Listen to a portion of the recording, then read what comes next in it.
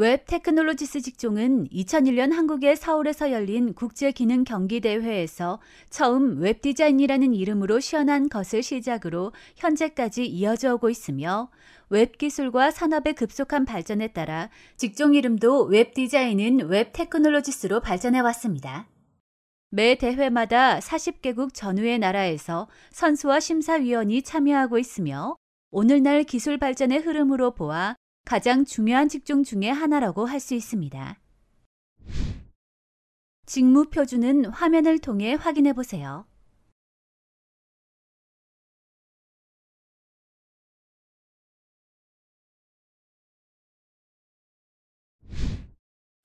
최근 Web Technologies 직종의 과제는 화면과 같이 크게 세 가지 분야로 나누어집니다.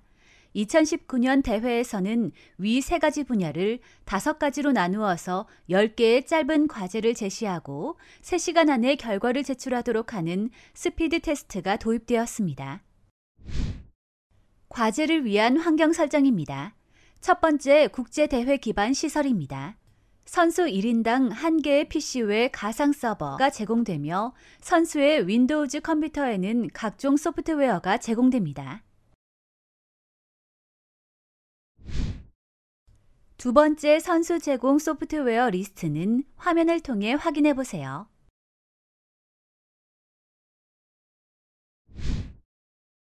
전체 과정에 대한 주의 사항입니다.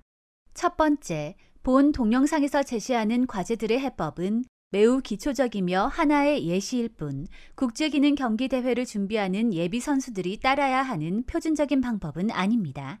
두 번째, 제공되는 기반 시설을 사용하여 각자가 선호하거나 익숙한 방법으로 알맞은 해법을 만들 수 있기를 바랍니다. 또한 동영상에 포함되지 않은 스피드 테스트는 별도로 제공되는 해법 파일들을 참고하시기 바랍니다.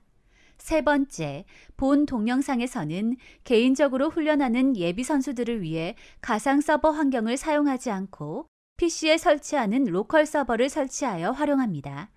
마지막으로 과제별로 생성하는 폴더 이름에서 사용된 YY는 국가 코드입니다. 지금부터는 PC용 웹서버와 DB 시스템을 설치하고 설정하겠습니다. 구글에서 XAMPP를 검색하고 웹사이트를 열어 Windows용 최신 버전을 다운로드 받아 설치합니다.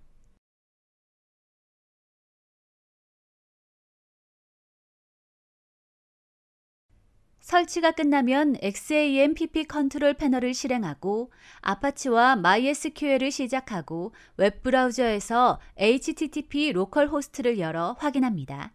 초기 안내 화면이 표시됩니다.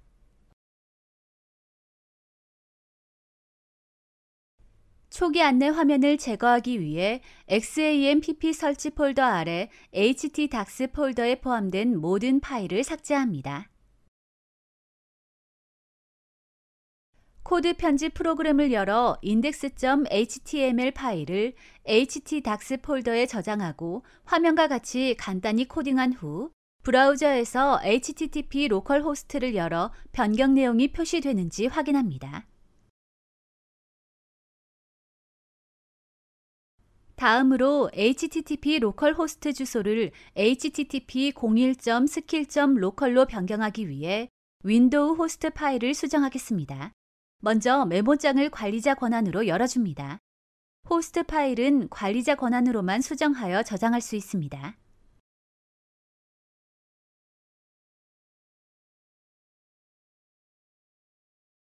그리고 파일 열기로 Windows 폴더 아래 시스템 32 폴더를 열고 drivers 폴더 아래 etc 폴더를 엽니다.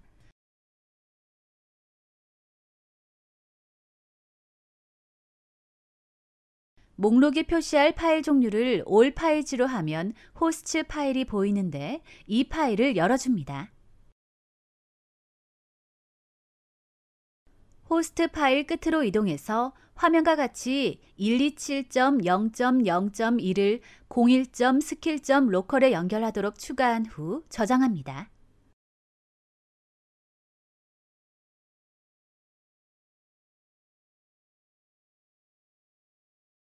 브라우저를 열어 http 01.skill.local을 입력하고 페이지를 열어봅니다. 이와 같은 작업은 국제대회에서 선수들에게 제공하는 주소와 유사한 환경을 사용하기 위한 것입니다.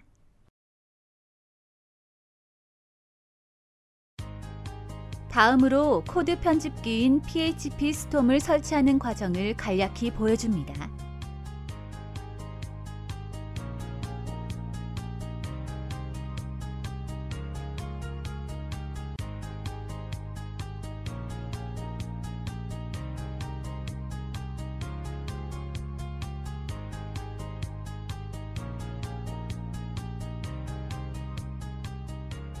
코드 편집기는 제공되는 소프트웨어 중에서 사용자가 익숙한 것으로 선택할 수 있습니다.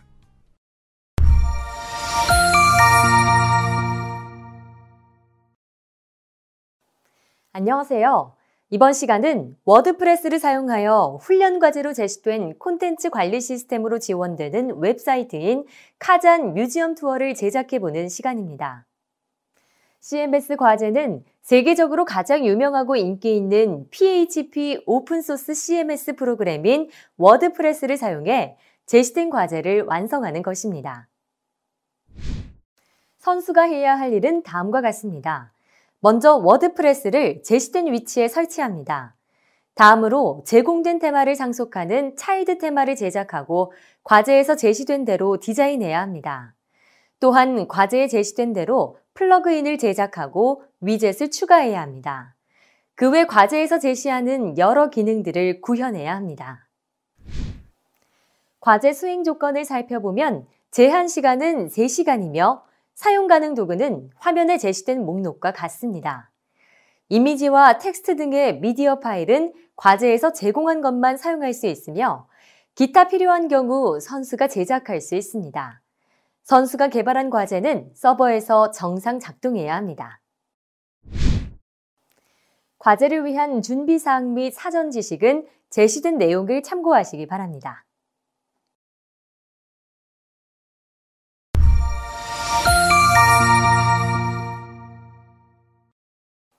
CMS 설치 환경 및 소프트웨어 정보를 살펴보시기 바랍니다. 본 과제에서 제시되는 소프트웨어들은 2019년 기준의 버전이므로 최신 환경에서 일부 작동하지 않을 수도 있음을 주의하세요.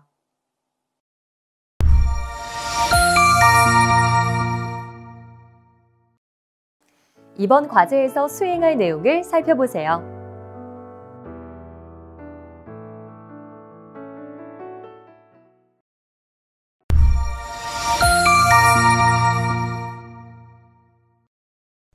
지금부터 WordPress를 활용한 CMS 과제를 풀어보겠습니다. PC에 웹서버와 데이터베이스 서버를 실행하기 위해 XAMPP를 실행하여 아파치 웹서버와 MySQL을 시작합니다. 선수 제공 파일들이 저장된 CMS 미디어 폴더에서 WordPress.zip 파일의 압축을 htdocs 폴더에 해제하고 폴더명을 YYCMS 모듈로 변경합니다. 웹브라우저를 열고 WordPress 설치를 시작합니다. WordPress를 설치하기 위해서는 먼저 XAMPP가 실행된 상태에서 localhost YYCMS 모듈 또는 가상의 호스트를 활용하여 로컬의 YYCMS 모듈에 접속합니다. 그러면 WordPress 설치 화면이 시작됩니다. 언어는 영어, English를 선택하고 Continue 버튼을 클릭합니다. 설치 안내 페이지에서 Let's go 버튼을 클릭하면 데이터베이스 관련 정보 입력 화면으로 이동합니다. 데이터베이스 정보를 입력하기 위해서는 먼저 데이터베이스를 생성해야 합니다. 데이터베이스 생성을 위해 브라우저의 새 탭에서 localhost의 php myadmin 또는 가상의 호스트를 활용하여 php myadmin에 접속합니다. PHP MyAdmin에서 데이터베이스 메뉴를 클릭하고 데이터베이스 name에 WSC19 CMS 모듈 입력 후 Create 버튼을 클릭하여 데이터베이스를 생성합니다. 이제 다시 WordPress 설치 화면으로 돌아와서 데이터베이스 이름과 사용자 정보, 서버 정보를 화면과 같이 입력하고 Submit 버튼을 클릭합니다. 국제기능 올림픽 대회에서는 서버 정보, 데이터베이스 사용자 정보가 다르게 제공될 수 있습니다. 다음 화면에서 Run the installation 버튼을 클릭하면 5개 항목의 관리자 정보를 입력하는 화면이 표시됩니다. 이 화면에서 Site Title을 카잔 Museum으로 입력하고 관리자 아이디와 패스워드는 과제에서 제시된 것과 같이 각각 admin으로 입력합니다. 짧은 비밀번호를 썼기 때문에 Confirm Password에도 체크해 주어야 합니다. 이메일은 admin@example.com과 같이 입력하고 Install WordPress 버튼을 클릭합니다. 설치가 끝나고 로그인 정보가 표시되면 로그인 버튼을 클릭하여 로그인해 보세요. 아이디와 비밀번호는 각각 admin입니다. 관리자로 로그인을 하면 WordPress의 관리 페이지인 대시보드로 이동합니다.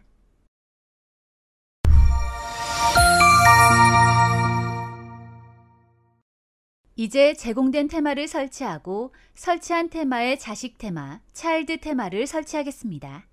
테마는 WordPress가 보여지는 모습, 즉 디자인과 레이아웃을 변경하는 codeset입니다. 테마는 WordPress가 설치된 폴더의 WP content 폴더 하위에 themes 폴더에 저장됩니다. CMS 미디어 폴더에서 blankslate.2019.1.g 파일의 압축 해제 후 그 안에 BlankSlate 폴더를 테마 폴더에 저장합니다. 웹 편집기를 열어서 WordPress가 설치된 폴더를 열고 BlankSlate의 자식 테마를 만들어 보겠습니다.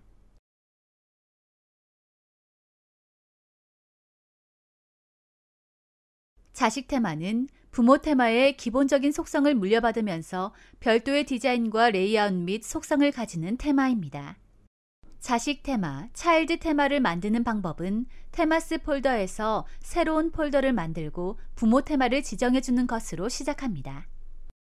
일반적으로 부모 테마의 이름 뒤에 underbar child와 같이 이름을 붙여서 폴더를 만들지만 과제에서 Kazan Museum Tour로 만들 것을 지정하였으므로 themes 폴더에 Kazan Museum Tour 폴더를 만들고 style.css 파일을 생성합니다. style.css 파일에 부모 테마의 속성과 자식 테마의 이름을 입력해 줍니다. 부모 테마는 BlankSlate이고 자식 테마의 이름은 Kazan Museum Tour입니다. 그 외에 버전 등 설정해 줄 수 있는 속성이 많지만 여기서는 이름만 설정하겠습니다. 이제 WordPress의 대시보드에 들어가서 기본 테마를 설정해 보겠습니다. 대시보드에서 Appearance 메뉴를 선택하면 하위 메뉴에 테마, Themes 메뉴가 있습니다. 여기에서 앞에서 만든 Kazan Museum Tour 테마를 확인하실 수 있습니다. Kazan Museum Tour 테마 위에 마우스를 올리고 Activate를 클릭하면 WordPress의 기본 테마로 지정됩니다. 화면 좌측 상단에 Kazan Museum이 표시되어 있는 홈을 클릭, Visit Site를 클릭해서 홈페이지를 열어봅니다. 별도의 디자인이 되어 있지 않은 사이트의 모습이 보입니다. 앞으로 사이트의 디자인은 계속해서 바꾸어 나갈 것입니다.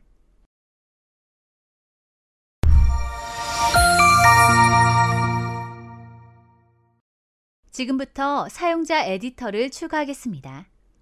카잔 뮤지엄이 표시되어 있는 홈을 클릭하여 대시보드를 표시합니다.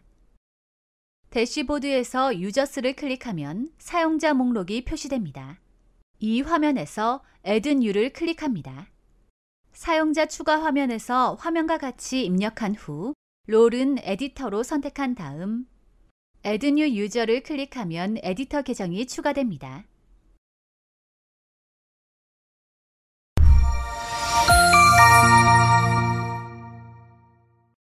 과제에서 요구하는 사항 중 로그인 페이지의 URL을 변경해 보겠습니다.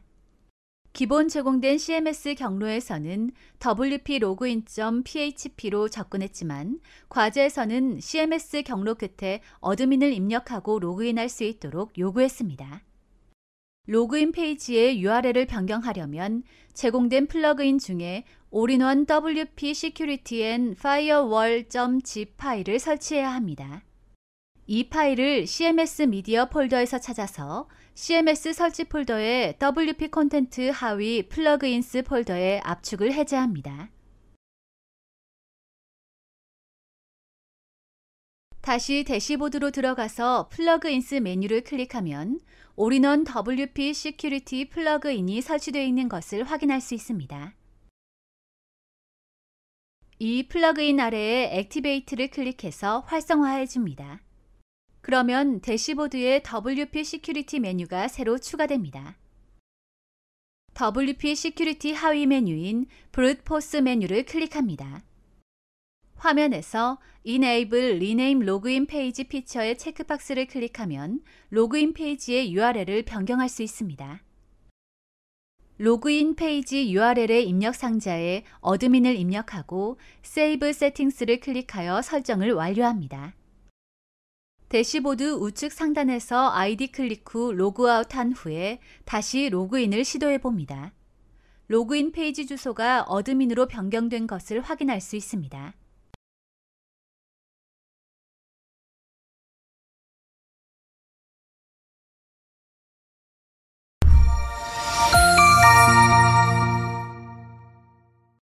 과제에서 요구한 대로 로그인 페이지의 디자인을 변경해 보겠습니다. 배경 화면에 이미지를 적용하고 WordPress 로고를 감추는 것이 과제의 요구입니다. 이 과제를 수행하기 위해 Photoshop을 사용하겠습니다. 제공된 이미지 파일 중 하나를 Photoshop에서 엽니다. 그리고 화면의 작업을 통해 약간 흐려진 이미지를 생성하고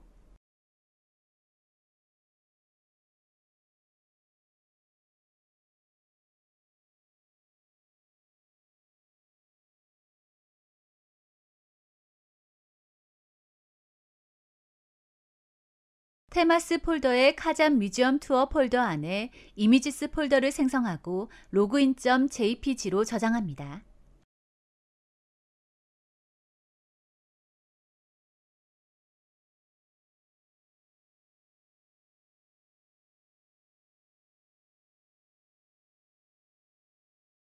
포토샵을 사용하지 않고 CSS만으로도 이미지에 효과를 줄 수 있습니다. 테마 코딩을 통해 로그인 페이지 디자인을 변경해 보겠습니다. 먼저 Kazan Museum Tour 폴더에 CSS 폴더를 생성하고 login.css 파일을 생성합니다.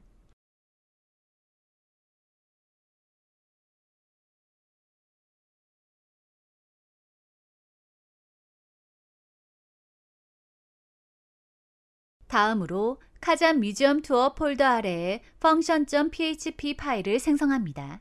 이 파일은 워드프레스가 사용하는 여러 중요한 함수들을 포함합니다. function.php 파일에 화면과 같이 코드를 입력하고 저장합니다.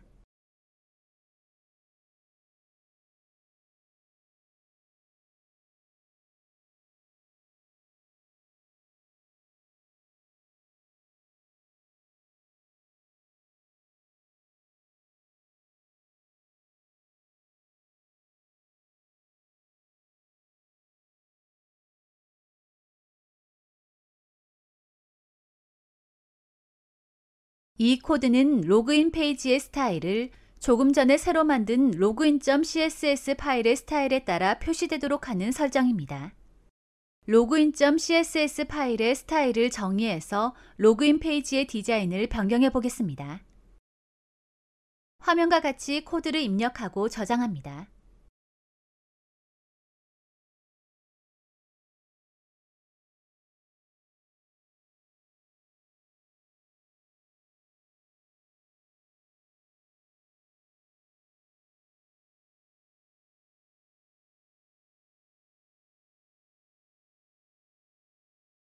로그아웃 한 후 로그인 페이지로 접속해서 디자인이 변경되는 것을 확인하고 필요에 따라 CSS 코드를 추가할 수 있습니다.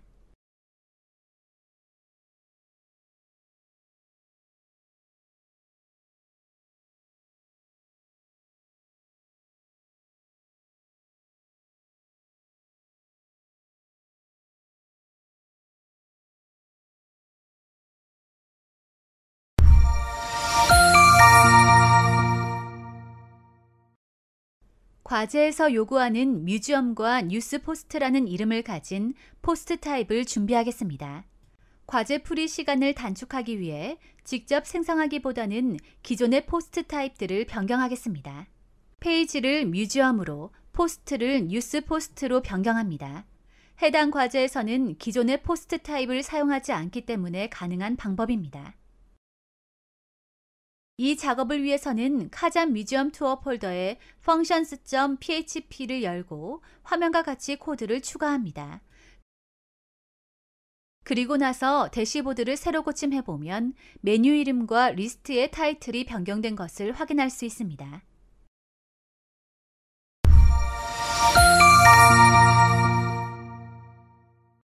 과제에서 요구한 대로 Museum에 쓴 글의 템플릿을 추가하고 선택할 수 있게 하는 작업을 해보겠습니다. Museum 리스트에서 Add New 버튼을 눌러 글쓰기 페이지로 들어가 보면 템플릿 선택 기능이 없습니다. 이제 이 기능을 추가해 보겠습니다.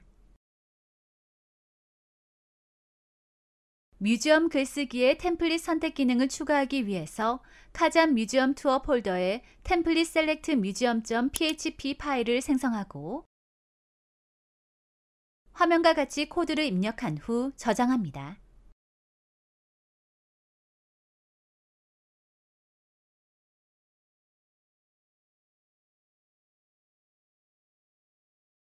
뮤지엄 글쓰기 페이지를 새로 열어보면 오른쪽에 템플릿 선택을 위한 콤보 박스가 생성된 것을 확인할 수 있습니다.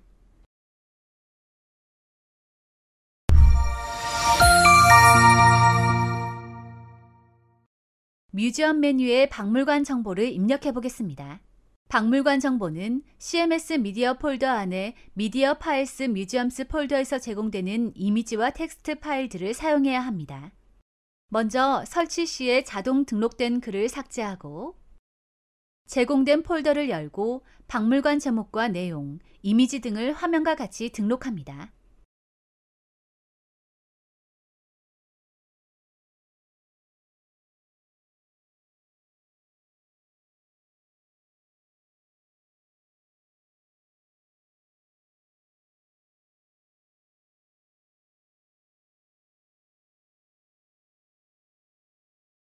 반복적으로 작업을 해서 다른 여러 개의 박물관도 모두 등록합니다.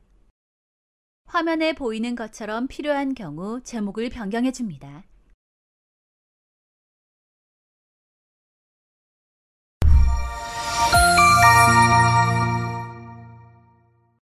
뉴스 포스트의 카테고리를 설정해 보겠습니다.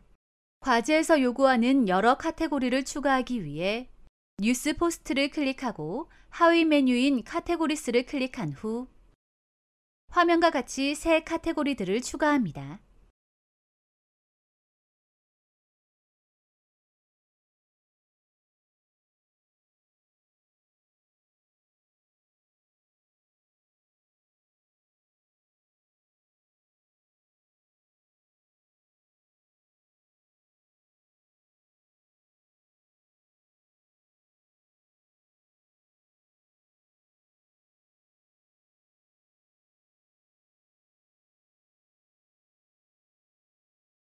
등록한 카테고리를 적용하여 새로운 News Post를 등록해 보겠습니다. 먼저 WordPress 설치 시 등록된 글을 삭제합니다.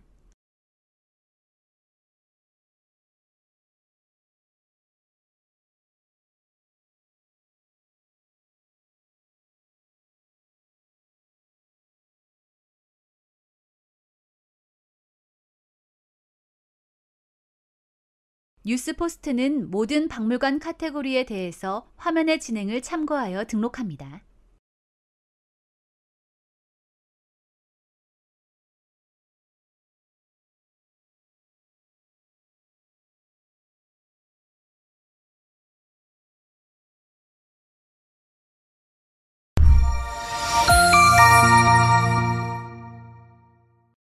News Post 보기 페이지 링크를 과제 요구대로 카테고리와 post 제목으로 설정하도록 하겠습니다. 현재의 설정은 화면과 같이 년, 월, 일, post 제목으로 구성되어 있습니다. News Post 보기 페이지 링크를 변경하려면 대시보드에서 Settings 메뉴 하위에 Permalinks를 선택하여 설정을 변경합니다. Custom Structure 항목을 선택하고 기본 설정 값을 모두 지우고 카테고리와 post name을 순서대로 클릭한 후 Save Changes를 클릭하여 저장합니다.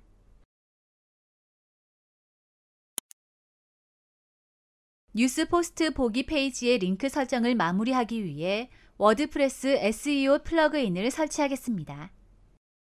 CMS media에서 WordPress SEO 11.2.1.zip 파일을 찾아 WordPress 설치 폴더의 plugins 폴더에 압축 해제합니다.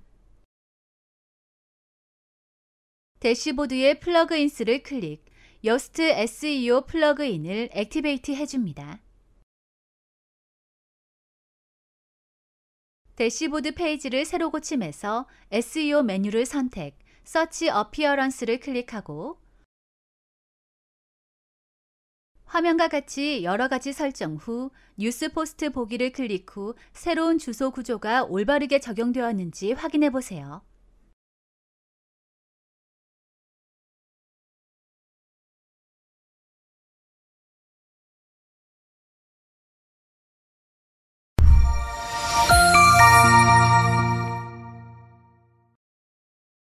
이번 시간 진행한 과제의 핵심 사항을 다시 한번 체크해 보세요.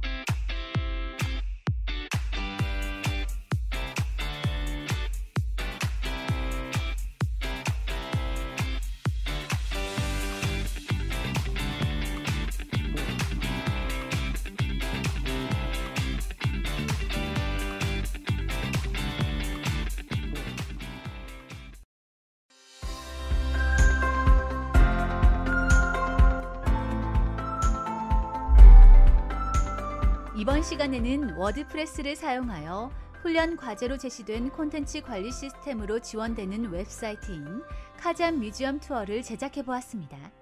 수고하셨습니다.